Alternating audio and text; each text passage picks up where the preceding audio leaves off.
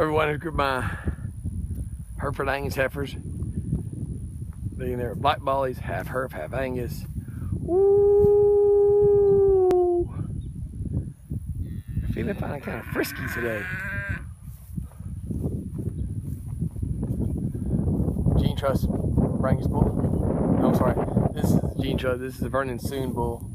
Gene Trust bred, but out of Suhn's Chisholm, so doesn't doesn't have the Gene Trust brand, but he came from a Shooting Star Brangus. I like his little heifer bull. He's stout, but moderate, really moderate frame, low birth weight. Again, if you watch my videos, I, I, I like this mating.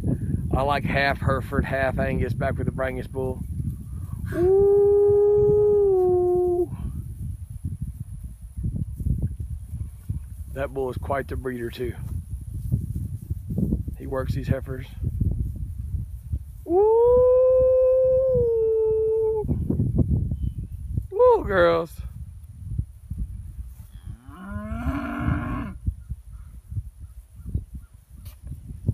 Well, it's good character, natural thickness, but really moderate framed, smaller boned. So any problems calving out of the dude. Woo!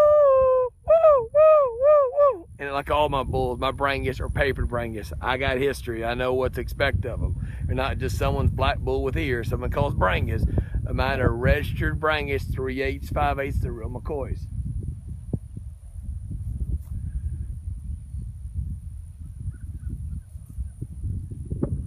Really good nature group heifers though.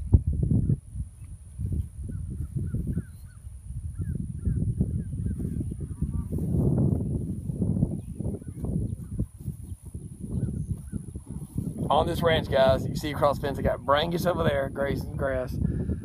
I got the F1 Braefords over there. I got Angus heifers being bred right now. Then I got a handful of 13 Herefords uh, pasture over. So if you come see Clay, I can show you Braefords, 50 something Braefords. I can show you 40 some odd good Branguses. I've got these black baldies. I got 100 Angus heifers and 30 or so Herefords all on the same place. I can buy you a pretty good lunch. If you come in the morning, I'll put you really good kolaches, I'm saying. You come here, you'll see lots of good cattle, and I'll stack it on deep and see how you like it. you know, I'm Clayton Hovitz, another fine group of heifers at our place outside of Bolton, uh, near Wharton, Texas.